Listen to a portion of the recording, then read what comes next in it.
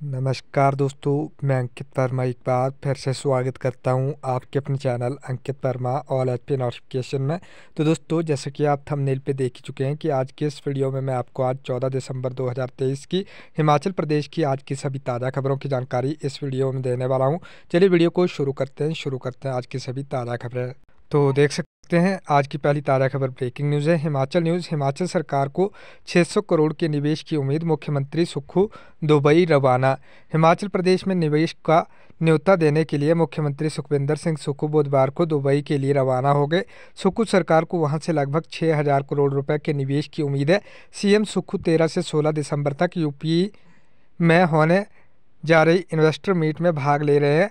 कुछ अधिकारी भी मुख्यमंत्री के साथ दुबई गई हैं। सीएम ने दो महीने पहले भी यूएई के हिमाचली कारोबारियों के साथ वर्चुअल बैठक की थी। उसमें उन्हें निवेश का न्योता दिया गया था। हिमाचल प्रदेश, यूरोप में सूती वस्त्रों की मांग घटी। बीबीएन में तीन उद्योग हुए बंद, तेरह हज़ार कामगार, बेरोजगार। हिमाचल प्रदेश के बीबीएन में इसके चलते तीन हज़ार वस्त्र उद्योग बंद हो गए हैं। इससे तेरह हज़ार कामगार बेरोजगार हो गए हैं। H P assembly winter session, शिक्षा विभाग के सभी अधिकारियों और कर्मचारियों की छुट्टियाँ रद्द। हिमाचल प्रदेश विधानसभा के शीत सत्र के चलते शिक्षा विभाग में 13 से 23 दिसंबर तक छुट्टियों पर रोक लगा दी गई है। 19 दिसंबर से शुरू होने वाले शीत सत्र के चलते उच्च और प्रारंभिक शिक्षा निदेशालय ने बुधवार को प्रस्तावित छुट्टियों और टूर पर रोक लगाने के निर्देश भी जारी कर दिए हैं। नाबार्ड, हिमाचल के पाँच जिलों की सोलह ग्रामीण सड़कों को नाबार्ड ने दी मंजूरी नब्बे करोड़ जारी।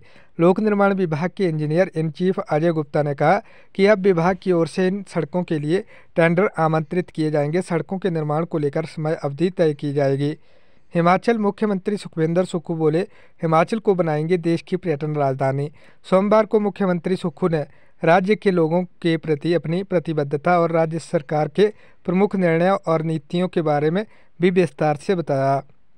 हिमाचल चंद्र कुमार बोले, गोबर खरीद योजना के तहत खंड स्तर पर स्थापित होंगे क्लस्टर। कृषि मंत्री चंद्र कुमार ने कहा कि सरकार ने दूध खरीदने मूल्य में छः रुपये की वृद्धि सहित पशुपालकों और किसानों के हित में अनेक ठोस निर्णय लिए हैं।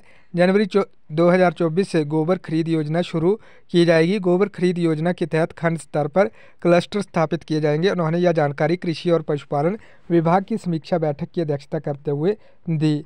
नेशनल कबड्डी प्रतियोगिता रेलवे को हराकर हिमाचल की बेटियाँ बनी चैंपियन। सत्रहवीं नेशनल कब, महिला कबड्डी प्रतियोगिता में हिमाचल ने रेलवे को हराकर खिताब अपने नाम कर लिया। हिमाचल ने रेलवे को सैंतीस सताईस के अंकों से शिकस्त की। हिमाचल वेदर शीतलहर की चपेट में हिमाचल दस स्थानों पर न्यूनतम तापमान माइनस में जाने मौसम पूर्वानुमान। हिमाचल के ऊंचाई वाले क्षेत्रों में बीते दिन हुई बर्फबारी से पूरा राज्य शीतलहर की चपेट में आ गया है।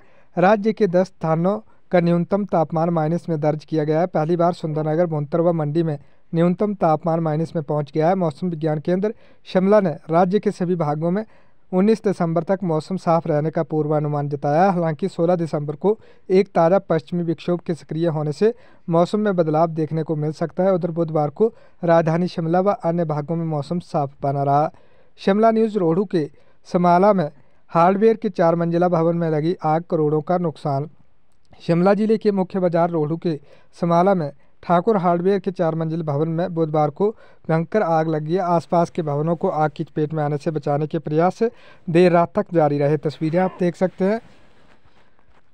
हिमाचल प्रतिभा सिंह ने सांसद में उठाया हिमाचल को विशेष राहत पैकेज देने का मुद्दा। सांसद प्रतिभा सिंह ने लोकसभा में प्रश्नकाल के दौरान हिमाचल प्रदेश हिमाचल प्रदेश में बरसात से हुए नुकसान के लिए विशेष राहत पैकेज देने का मामला उठाया। मंडी न्यूज़ प्री प्राइमरी कक्षाओं के लिए पहली शिक्षक माह का आगाज़ वर्चुअल जड़ी, वर्चुअल जुड़ी हज़ारों माएँ प्रदेश सरकार ने बुधवार को सुंदरनगर में समग्र शिक्षा के अंतर्गत प्री प्राइमरी कक्षाओं के लिए पहली शिक्षक माह कार्यक्रम की शुरुआत की। समारोह में मुख्य संसदीय सचिव शिक्षा आशीष बुटेल ने बतौर मुख्य अतिथि शिरकत की। मंडी न्यूज़ संधोल की शिवांगी बनी अखिल भारतीय विद्यार्थी परिषद की राष्ट्रीय मंत्री। शिवांगी खरवाल संधोल के लचरा गाँव से संबंध रखती हैं। शिवांगी की पढ़ाई दिल्ली से ही हुई है। पीएचडी तक की पढ़ाई उन्होंने दिल्ली विश्वविद्यालय से की है। H P P S C H R T C conductor भर्ती परीक्षा की उत्तर कुंजी जारी, आपत्तियाँ दर्ज कराने को दिए पाँच दिन। लोक सेवा आयोग ने एच आर कंडक्टर भर्ती परीक्षा की उत्तर कुंजी जारी कर दी है। 10 दिसंबर को प्रदेश के एक सौ अड़तालीस परीक्षा केंद्रों में पैंतीस अभ्यर्थियों ने यह परीक्षा दी थी। शिमला न्यूज़ राज्य प्रदूषण नियंत्रण बोर्ड में आठ सदस्यों की तीन साल के लिए किया मनोनीत। राज्य प्रदूषण नियंत्रण बोर्ड में गैर सरकारी और अन्य सदस्य मनोनीत किए गए हैं। इस संबंध में बुधवार को सरकार की तरफ़ से अधिसूचना जारी कर दी गई है। शपथ के बाद दिल्ली गए प्रदेश के दोनों नए मंत्री, कांग्रेस हाईकमान और राष्ट्रीय अध्यक्ष से मिलेंगे। हिमाचल सरकार के मंत्रिमंडल विस्तार में मंत्री बने राजेश धर्माणी और यादवेंद्र गोमा अगले दिन ही शिमला से दिल्ली चले गए हैं।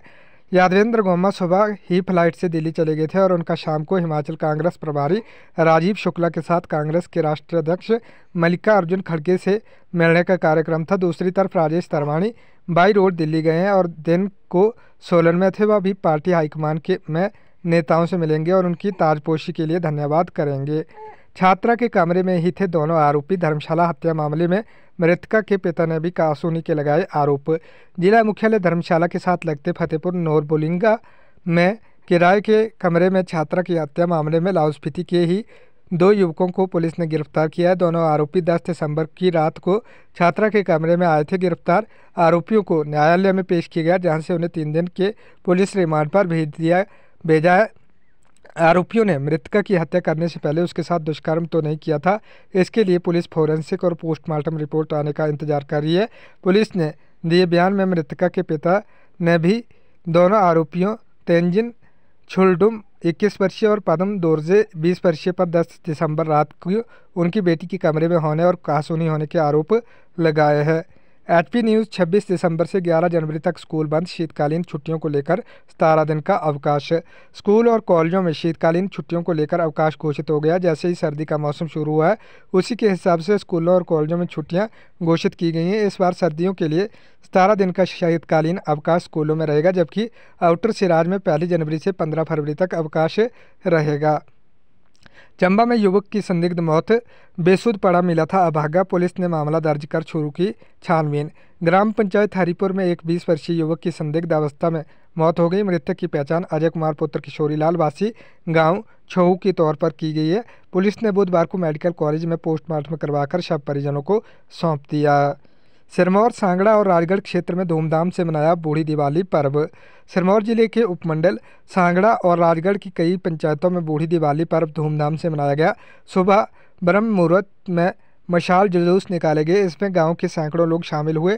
लोगों ने एक दूसरे को दिवाली की बधाई दी। कई जगह सांस्कृतिक कार्यक्रमों का आयोजन भी किया गया। बूढ़ी दिवाली पर चारना चेष्टा कला मंच राजगढ़ ने महेंद्र हाबी की अगुवाई में पूरी रात दर्शकों का मनोरंजन किया। डमटाल पुलिस ने चंबा के केहार से दबोचा नशे का मुख्य सप्लायर। तस्वीरें आप देख सकते हैं। डमटाल पुलिस ने एक मामले में जिला चंबा से नशे के मुख्य सरगना को गिरफ़्तार किया। थाना थाना डिमटाल के तहत गाँव भद्रोया मोड़ पर नाके के दौरान पुलिस ने गाड़ी में सवार दो युवकों को केवल पुत्र मोहन निवासी, लुनेक तहसील चुरा और मानसिंह पुत्र बिशनदास निवासी डोलियारा तहसील चुरा जिला चंबा को ढाई किलो चर्च के साथ गिरफ़्तार किया था। शीतकालीन सत्र की तैयारियों को लेकर विधानसभा अध्यक्ष ने तपोवन में लिया प्रबंधों का जायजा। तस्वीरें आप देख सकते हैं। विधानसभा अध्यक्ष कुलदीप सिंह पठानिया ने बुधवार शाम को तपोवन में विधानसभा परिसर में शीतकालीन सत्र की तैयारियों को लेकर निरीक्षण किया तथा अधिकारियों को प्रबंधों को बेहतर बनाने के लिए आवश्यक दिशा निर्देश भी दिए। कुल्लू के डाढ़ग में युवक की खाई में गिरकर मौत, पुलिस छानबीन में जुटी।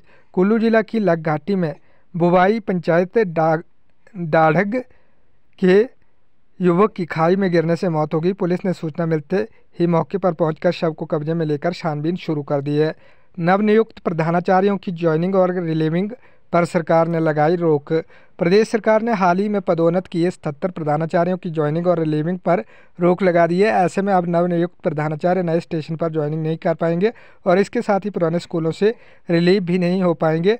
बताया जा रहा है कि एक या दो दिन में सरकार संशोधित पदोन्नति सूची जारी करेगी। तो दोस्तों, ये थी हिमाचल प्रदेश की आज की सभी ताज़ा खबरें। धन्यवाद। जय हिंद। जय भारत।